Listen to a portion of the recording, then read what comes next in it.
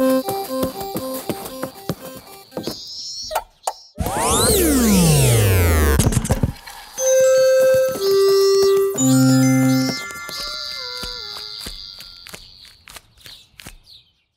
everybody. Welcome back to the final part of our four part series on Adobe After Effects. I'm Sam Stenson, and I'm a video production intern at Somerville Media Center in Somerville, Massachusetts. In this video, I'm going to be teaching you how to do some basic typography in After Effects, meaning using After Effects to achieve some text animation, which is great if you want to make a quick, fun little title sequence for a video, or other things, I guess. So, last episode, Stuart taught you about keyframing and animation, and I'm going to jump right off from that point and we're going to start animating with the text function. In case you didn't do your homework and watch the other videos, here's a little recap. The text function is up here. You can also use the shortcut T to switch to the text function. So I've continued working on our amazing project from last time, and I've already typed out a little bit of text here. I just did that by clicking on the display window with the text tool and type it away. But how do I change the font? How do I change the size of the letters? That's this panel right over here. There are two windows that allow you to manipulate text in After Effects. One of them is the paragraph window, which is really only useful if you're typing out paragraphs or using any other form of long form text. Almost everything you can do in the paragraph window, you can also do in the character window. The one thing I do want to highlight here is the alignment function, which if you've ever used Google Docs, Microsoft Word, any of those programs, you should find that it does the same thing. It aligns the text to either the center, to the left, or to the right. So I recommend knowing how you want your text aligned before you go into the character window. This little box right here is how you set the font. You can use any font that you have downloaded and installed on your computer. And here is where you can set the font to normal, bold, italic, any other presets that that font has. Text in After Effects has a stroke and it has a fill. If you don't intend to make your text a little bit more fancy, if you just want some basic text, you can set the color here by clicking on this box. I'm going to make it red. Oh. Now I'm going to make it red. This box down here allows you to change the size of the stroke, which outlines the text in whatever color you have it set to. Here I have it set to black. You can make the stroke bigger, or you can make the stroke non-existent using this slider right here. You can also decide whether you want the stroke to appear over the fill as it does here, or if you want the stroke to blend behind the fill. This controls the size of the font. This one over here controls line spacing, so if I'd like my lines to be closer together or further apart, I can simply slide. This slider controls the spacing of the characters, so you could have a wider spread, or you could have the characters all smooshed together.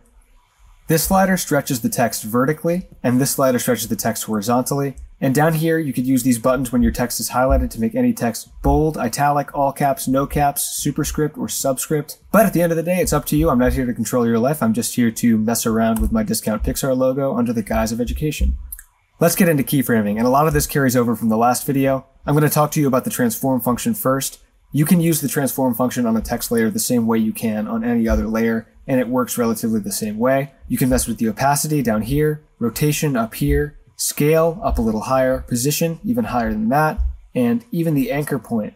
You can set keyframes here by clicking on the little watch and manipulating from there like you would any other layer. Let's watch. Ah. Here's another thing I'm going to cut out if Stuart talked about it, but I'm going to talk about the hotkeys that bring up each transform function. For opacity, it's O. Oh, we're not. For opacity, it's T. For position, it's P. For scale, it's S. For rotation, it's R. And for anchor point, it is A. I know I just ran through all of that, but if you keep those hotkeys in mind when you're working, especially if you're starting out in After Effects, they'll become second nature soon enough. Let me just get rid of everything I've done because it is awful. Now we'll get into the functions that are specific just to text, starting with source text. Now, if you activate a keyframe of source text, let's activate one here and scroll a little bit further and activate another one here. That'll allow you to change the content of the text on the keyframe itself. So if I want to change this text from Pixar at the beginning to Carfax at the end, I can do that. And on the keyframe that I placed, it'll change when it reaches that keyframe. This is very, very useful for subtitles because you only need one subtitle track if you're doing that in After Effects. I don't know why you would do it in After Effects, but if you were, you would only need one track for your subtitles and you could change the text as it changes in the video. That also means you can change the color and the font of your text on these keyframes if that's something you're into. If we want to make this Carfax this beautiful shade of yellow, we can do that right here and it'll change on the keyframe. There it is. Now let's talk about the path options, and this is where it gets really fun, at least for me. By adding a mask to this layer, and a mask can be any which shape you'd like, I'm going to make whatever that is. And as you can see, it's functioning just like a mask. It's not showing any of the layer outside of the masked area. But if we go down here and look at the path options, under path, you can see none right now because it's following the text path that was set out before. But if we go down here and look at that, that's mask one. That's the mask we just made. Ka-ching. And now the text is mapped onto that mask. I'm realizing this would be much easier to illustrate if it was just a circle, so I'm going to change it to a circle. And there's a lot of great stuff you can do with this besides making some fun paths for your text, again, which can be literally anything. Here are some more detailed options you can use. You can reverse the past.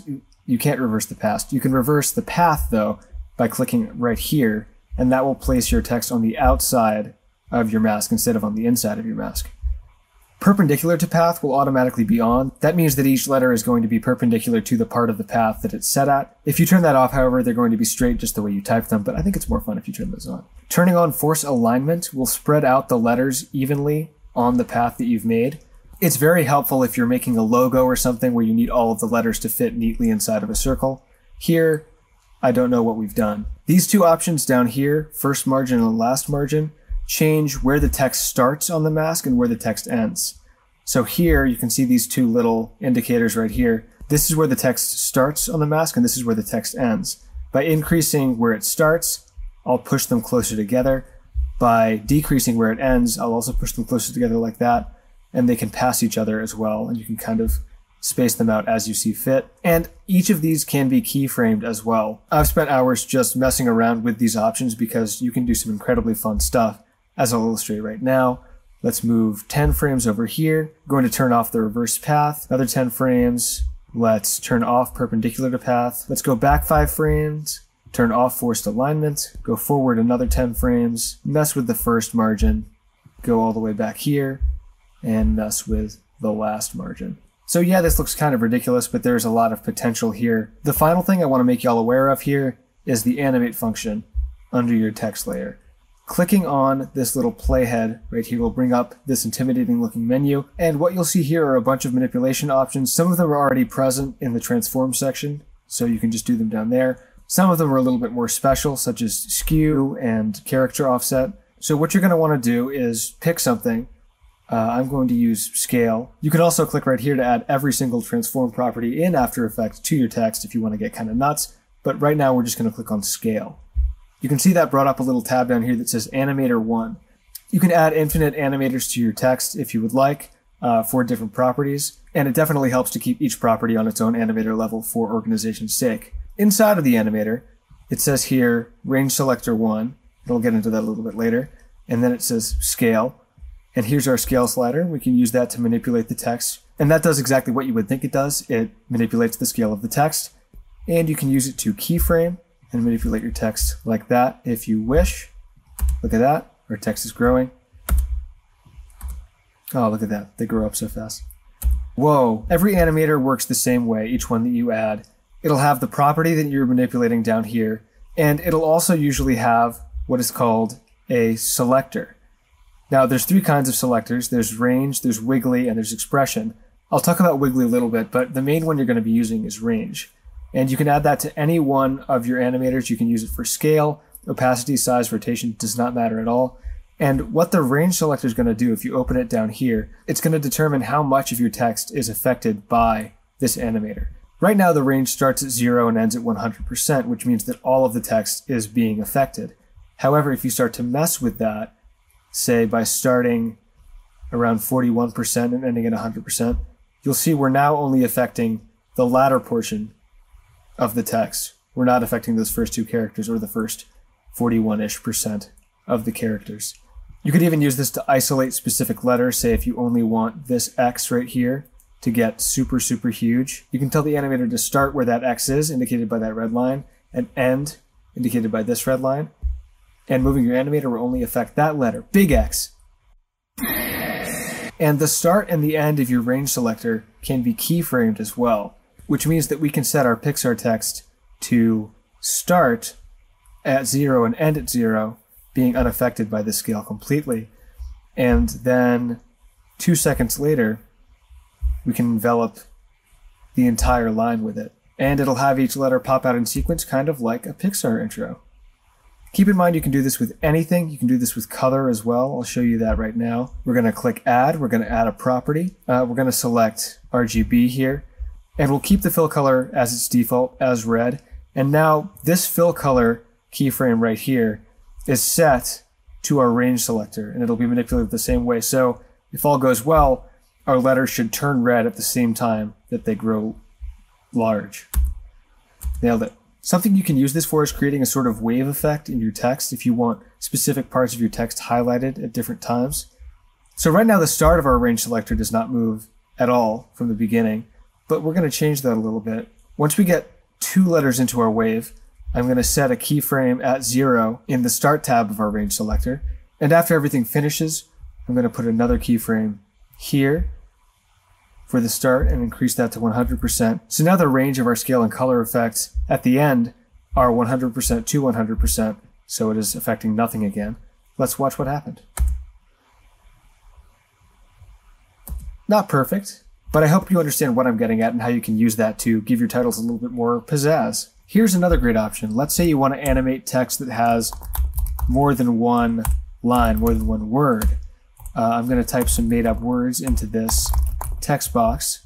And I'm also going to disable this mask here because honestly it's more distracting at this point. Alright, now that I've fixed that, we have a couple of lines of text split up into a couple of words here. So the wave that we've created is affecting each letter individually, but what if you want the effect to affect each word or each line and not each letter? You can do that by going down here, below your animator, into the advanced settings of your animator. There's a lot of other advanced settings down here, and they're all really interesting, but what we're going to focus on the most is right here. I would recommend keeping the unit set on percentage. It's just the easiest way to go about it, considering how everything else in the program works. But down here, it says that this percentage is based on characters. That's why it's highlighting each letter individually. We can also set it to words. Now let's see how that's changed our animation. There we go. So now the wave goes word by word. You can do the same thing by going down here and setting it to lines, and that will go by each line of text. Here's something you can do with that that has almost infinite uses. We're going to go and reset all of our keyframes here, delete our scale and fill color animators. You can also just delete an animator at any time by selecting it and just pressing delete. All right, so we're going to add a new animator and we're going to choose opacity. Opacity automatically comes with a range selector, which is great. We're actually going to decrease our opacity here to zero. Now make sure you're decreasing the opacity within the range selector and not the opacity of the transform function itself. It's pretty easy to get confused there. We're going to go ahead and put our start at 100 and our end at zero and keyframe both of those wherever you want the effect to start. I'm going to scroll down 10 or so seconds and place our secondary keyframes. And I'm going to extend the end of our opacity all the way out. I know it looks like it just says Carfax up there, but scroll back to the beginning and press play. And you can see our letters are appearing one by one as if they're being typed or texted or something like that. If you want it to look a little more natural, like it's actually being typed or texted and not fading in, you can go back into the advanced options down here and take the smoothness down to 0%. And each letter is going to appear just like that. So that's the end of what I'm actually going to be teaching you, but I'll leave you off with an example of how many options you actually have with everything I just went over. Let's start by keyframing the source text, going right into the middle here, and uh, completely changing up everything that I said. Let's actually change up the color and the font as well, right at the end. Next, let's create a really weird path for our text and link it. We're then going to use the first margin tool, keyframe right here, skim to the end, and keyframe right here. We're going to increase the first margin to give this all a scrolling effect and scroll the text along the mask that we've created here to make things even more confusing. Let's add another animator down here for skew. You can see that's given us a range selector as well. Let's make the skew 42. How bad is that? That's pretty bad. Perfect. Now let's go into the range selector one here Let's have it start and end at zero for now. We'll keep the start, scroll all the way down here to the end, and kick the end into 100% so it's all skewed by the end. And finally, let's use the transform function down here. Let's get the rotation keyframed and use this to rotate our entire text. All right, now let's watch our masterpiece.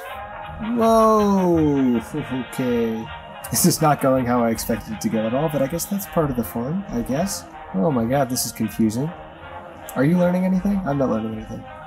Okay, there we go. And with that, that's our intro to typography and After Effects. Uh, please like, comment, subscribe, all that stuff. I hope you learned something uh, from this video and from the series as a whole. I hope you're able to create your own nonsensical title sequences uh, at your computer at home. Once again, this has been video production intern Sam Stenson for Somerville Media Center. I hope you enjoyed, and let us know if you'd like to see more tutorial series like this. We had a lot of fun making it. Thanks. Bye.